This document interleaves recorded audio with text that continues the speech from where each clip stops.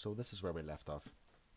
We have now created in the first tutorial the hand texture, in the second tutorial the lightning bolt, and now this is the final tutorial and in here we'll get everything working with blueprints. So the idea is that the source of the lightning, this will be connected to your hand, to the, the VR, the motion controllers. So wherever you move your hand will always be the source of the lightning. And then at a set distance away from your hand and whatever direction your hand is facing, we will have the target. So let's get in and get that working. And we can do all this in the level blueprint. It's it's a pretty simple blueprint. So let's open up level blueprint. And what we will do is we will bring in a tick. So on every frame we will update the location of the two actors, the source and the target. So let's get our motion controller first. So cast to motion controller pawn and the object of this will be get player pawn and for mine you can do it differently I will just use the right hand the right controller so let's get right controller and just to make it more accurate we will place the source on the hand itself. So get hand mesh should be at the bottom. Here it is. Get hand mesh. So that is the hand itself. So we'll just to be more accurate, we will get that. And so let's let's update this. This is our bolt source. So if you select this, go into your level blueprint and right click you can create a reference to the bolt source. So let's move this with our hand. So what we need to do is get world location, pretty simple. And from this we will set world location. And the target of course is our bolt. And let's just make sure that our blueprint is running through this. There we go. So that now is your the bolt source connected to the hand mesh of your motion controller. So now we want to set the target, so set a set distance away from whatever way your hand is pointing. So to get that, what we need to do is let's get our hand mesh and we will get the world location. And we will also get the forward vector so in which direction it is pointing. And to set that distance away all we need to do is well first we need to multiply the vector by a float. And whatever distance this is the distance of this is the kind of the length of the lightning bolt. So for a very long distance what I have set is 4000 and then we just need to add our starting place, our world location. So vector plus a vector, and we'll just add this into here. And what this is doing now is this is placing the source, sorry, the target 4,000 units away from our current position in our forward direction. So let's bring in our target. Let's just select it and bring in create a reference for the bolt target. And let's set actor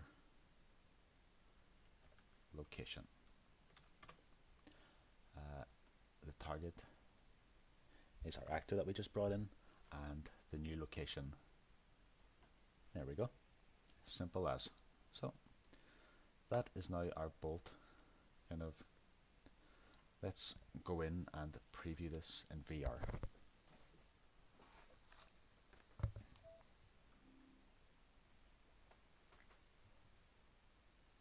Here we go. So you're going to see now we have the lightning bolt coming from our hand. Very nice. Now all we need to do is be able to turn it on and off with a button. So let's get back out of that.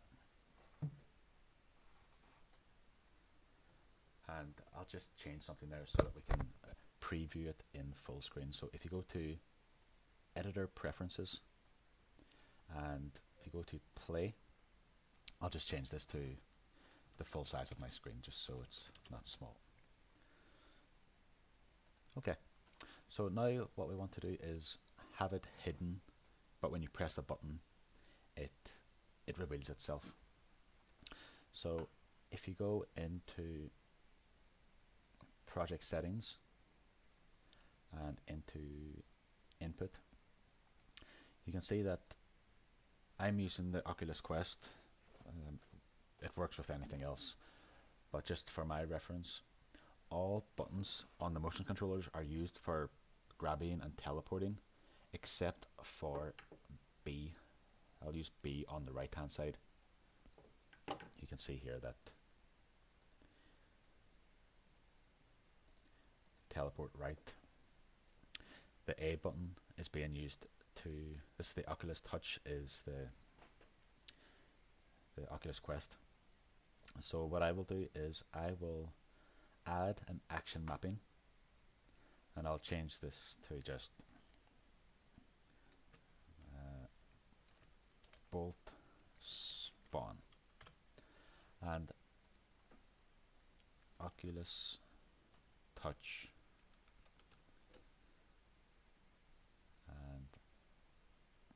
Oculus touch the right hand B press. So you kind of have to look you can just google it what is the key binding for the motion controllers that you have. Uh, and for the Oculus Quest I have I was using the, the B button. So it's called bolt spawn. So all I need to do now is type in bolt spawn so now whenever the button is pressed and released I can call actions so what I will do is I'll bring in my particle emitter so I'll just select it go into my level blueprint and create a reference.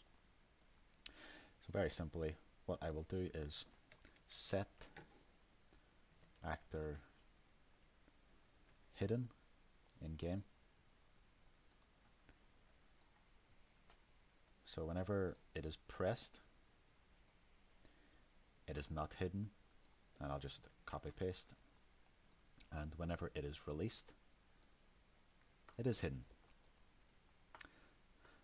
And one thing we want to do is whenever it begins, we want it to be hidden by default. So I'll bring in event begin play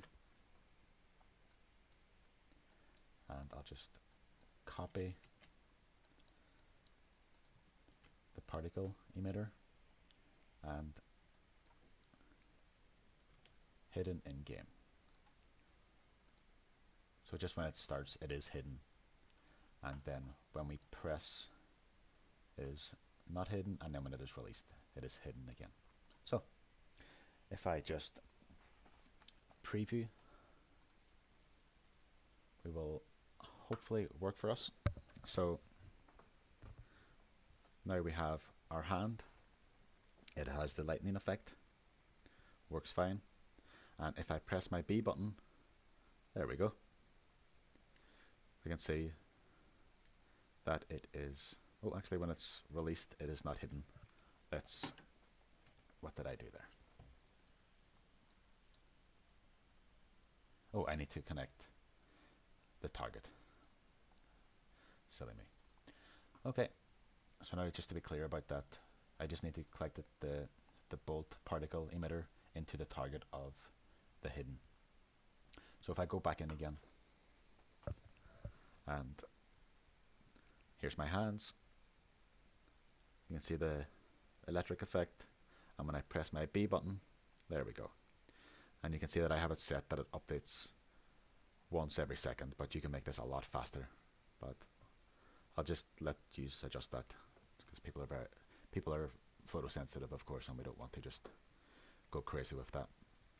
And the distance that is set to 4,000 units away. You can make it closer, you can make it further away. You've seen how we adjusted the colors in the particle. We have three different lines with the noise frequency. So just get in there and make it look as you would like. And I hope this was helpful. I think it looks pretty cool. There's a lot that you can do with this. And as I says, it, it works with any hands since we were only using the emission node. So,